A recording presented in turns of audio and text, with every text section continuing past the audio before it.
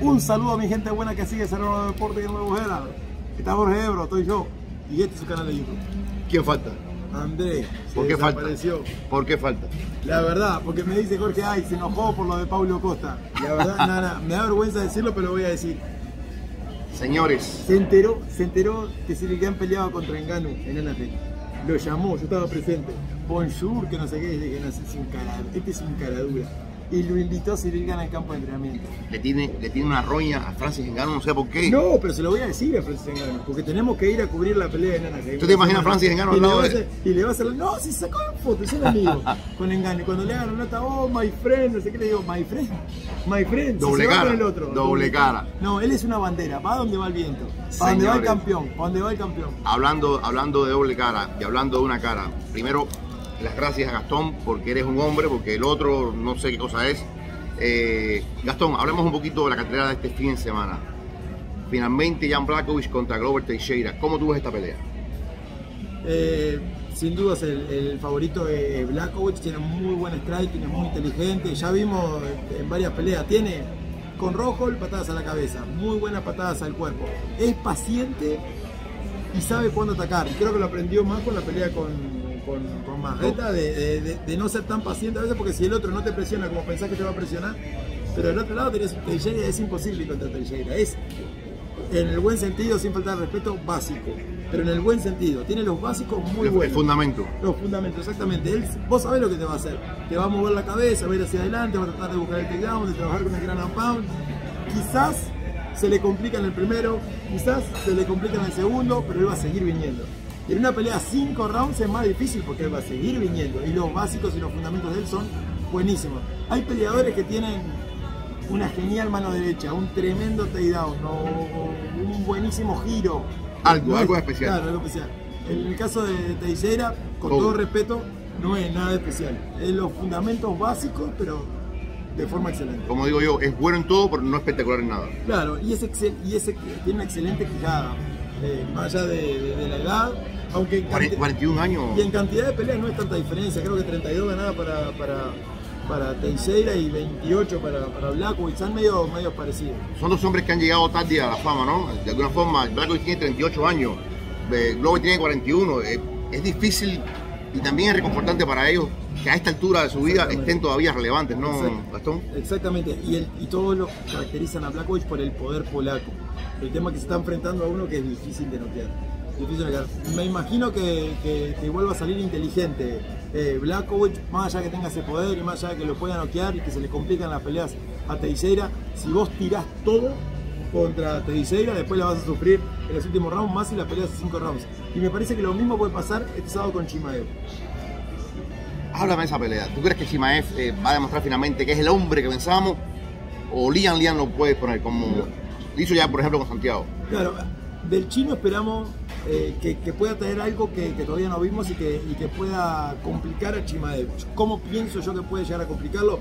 Si trabaja, eh, él tiene buena defensa de arriba, de Lich y si trabaja eh, la distancia y si golpea bien con las low como pegó y, y, Chimael sale como loco a tratar de, finalizarlo y no puede en el primero y no puede en el segundo, vamos a ver qué tiene Chimaev en el, en el tercero, después de estar cansado contra, contra el chino.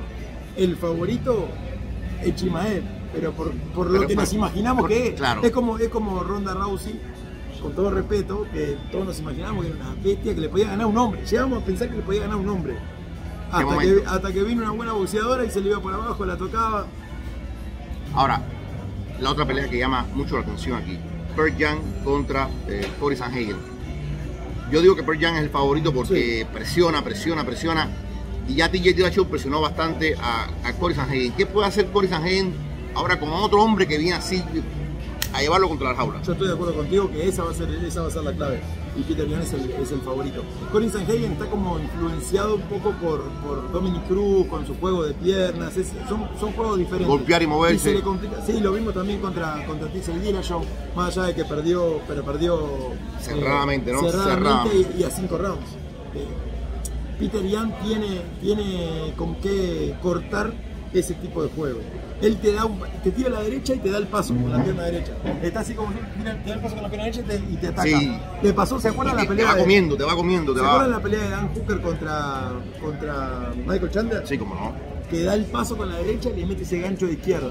Dan Hooker muy bueno moviéndose, inclusive estaba galopando, estaba, yen- estaba yéndose. Va, creo que va a pasar algo parecido con, con, con Peter Yan y, y Cory Sanhagen. No digo que lo vayan a meter así ni nada de eso, pero sí me imagino a, a Peter Yan cambiando la guardia en el medio de las combinaciones para Cortándole- cortarle, ese cortándole claro. cortándole la salida, pero atacando. Ahora, tú has mencionado un nombre ahí, Dan Hooker. Esa es otra pelea que nos tiene eh, Dan Hooker contra Islam Makachev, porque fíjate lo que dice. Daniel Comino nos dice que va a ser campeón. Javier Nurmagomedov nos dice que va a ser campeón. Javier Méndez dice que va a ser campeón. En Dagestán todo el mundo piensa que va a ser campeón. ¿Cuán bueno es Islam Makachev? ¿Y cuánto puede hacer Dan Hooker para parar esta narrativa? Sí. Dan Hooker dice, tiene dos manos, va al baño como yo, es un, es un ser humano, pero realmente muy bueno. Y ya ha visto la derrota y ha mejorado. Tiene la lucha de, de me estoy exagerando un poco, pero la lucha de Javid con un muy buen boxeo. ¿Tú crees que realmente dicen eso? Que tiene la lucha de Khabib, pero que es mejor en el striking que Khabib. Sí, es mejor. Wow, mejor. pero entonces- Lo, ha- lo lo ha demostrado, Javid solamente eh, hacía el striking para buscar la lucha. Me parece que es tremendo. Inclusive el padre de, de, de Javid. Abdul Omar. Sí, decía, yo quiero que mi hijo le entregue eh, El batón. cinturón, lo deje, lo deje vacante y el cinturón lo, Lo capture pelee. Islam. Eh, Islam Makachev. El favorito es Makachev para esa pelea. Duro, ¿no? Duro, duro. ¿Tú crees también, como dicen toda esa gente que va a ser campeón, tú crees que dentro de un año veremos a, Islam al No, tope? es muy, es muy difícil, ¿no? es muy difícil. Y, son estilos, a mí ese estilo no me gusta tanto. Si vos me preguntás en la cartelera quién va a ser campeón, te digo Lerón Murphy, el inglés, que no lo ¿Oh, sí? nadie. Está, está- está debajo del radar. Ese peleador es tremendo, es tremendo. Yo entrené con él en, en Alliance, yo no lo podía creer, en el sparring, pero me, me zapateó la cara. Es impresionante. Es como Brendan Logan, el de PFL, que para mí es un peleador de la reputísima madre. Bueno, Claro. Lerón Murphy. Que por es cierto, ahora- igual. ahora bien, es, la, es tercera es la tercera pelea en la UFC. Y tiene un empate. Un empate porque le habían avisado dos días antes.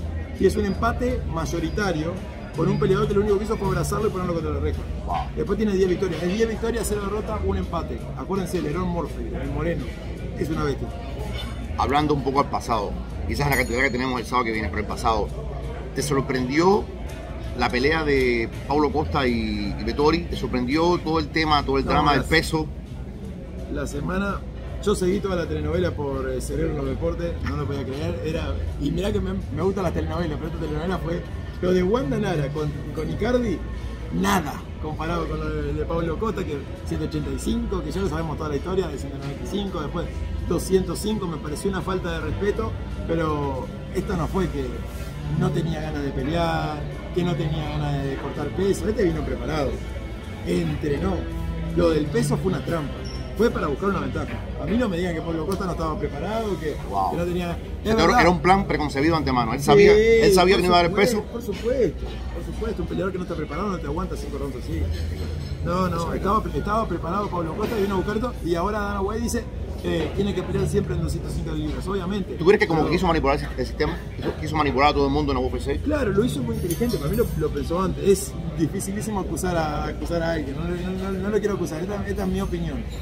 Si vos no tenés ganas de pelear, como decía, por ejemplo, Ali Abdelaziz, el entrenador de, el manager de, de, de- Vettori. de Vettori, él decía, no, este no quiere pelear, le ofrecieron a Canonier, dijo que no, le ofrecieron a, A Whittaker. a Whittaker y dijo que no. Hace un año que no, no pelea, ahora no quiere ni dar peso. No, no, Ahora, entonces, no, no fue así. La gran pregunta Este que- dijo, necesito ganar después de su primer, de su primer derrota, era su segunda derrota porque la había perdido en el último fight de Brasil, pero es exhibición, Claro, la de la, de la casa. claro. Eh, dijo, necesito ganar, no voy a cortar peso, sigo con esa ventaja. A mí me parece injusto, me parece que, que hay que penarlo. eso. Ahora, hay gente que vio ganar a Costa. Yo digo que ganó Vettori. Hay gente que vio ganar a Costa. Vettori perdió el último round, de acuerdo. ¿Cómo ganar todavía con la dedu- deducción de puntos? No, no, imposible. Yo vi la tarjeta igualita, la, la- la dije al aire, 48-46, no me acuerdo ahora exactamente. pero- Yo creo que él, pero fue 48, el, 46. el round que realmente ganó fue el quinto. Sí. El quinto. Y, y te digo una cosa, tienes razón. Yo en el primer round lo vi medio respirando por la boca. Y dije, no aguanta tres rounds. Y aguantó, y hay que decir que aguantó. Ahora, ¿cómo le diría él en 2.05? ¿Cómo, cómo tú ves a, a Pablo Costa en 2.05 con los Big Boys? Con Blackovic, con Teixeira, con Rakic, contra Prochaska, ¿cómo tú ves al No es un tema de, de poder o, o, de fortaleza física en la lucha, creo que, que, que, la tiene, eh, me parece que va a ser un tema más que nada de, de sí, mental y de, y de, ver si se, se establece en su carrera, no sé, no, imposible, ¿viste? Uno no puede hablar de la mente no quiero faltarle el respeto, el respeto a nadie. Pero es la verdad, la verdad, yo, yo te voy a decir la verdad, yo creo que él tiene un problema que desde que perdió, desde que peleó con Joel Romero, no ha sido el mismo. Dijo tantas barbaridades en la pelea contra Alzaña, después sí me hace sospechoso, se me hace sospechoso que no quiso pelear contra Whitaker, que no quiso pelear contra Cannonier y que aceptó la pelea con Vettori. Yo creo que él pensó que Vettori iba a ser el eslabón más débil, voy a, a recuperar mi victoria, voy para arriba y le salió mal el, el, el, plan. Pero vamos a ver cómo le va. Yo soy anti, anti peleadores que pierden y cambian el campo de entrenamiento. Soy anti eso. Pero me parece que. Como por ejemplo, como Figueiredo que se fue con. No sé, Judo. Hay, hay clase bueno, de clase rollo armado con el me traicionaste, tú no me traicionaste, ¿no? Pero el, el, peleador que le echa la culpa al entrenador. Primero la culpa es, del peleador. Pero en este caso me parece que, que Pablo Cota, no sé qué tendrá al lado, quién lo aconsejará de decirle, ¿por qué no decís que tomaste un vino? Nada muy mal. Muy Tiene mal. que irse al lado de esa gente y, y, volver a entrenar porque es un gran peleador. Recuperarse por completo. ¿Tú sabes quién no se recupera? Andrés Bermúdez. Pero hay un homenaje. Ah, pavó, Andrés. Pavó. Y con Cirilian te está dando. ¿Qué, qué le está dando? Un homenaje venezolano. Pequeños. Y tú, siempre con la factura. Yo con la de dulce leche. Mientras que come creme brûlée con Cirilian. Señores, Gastón Tonga Reinó, Ojito Euro, aquí en Celebros Deportes, su cajita de YouTube, donde está lo más grande más grande. Bendiciones.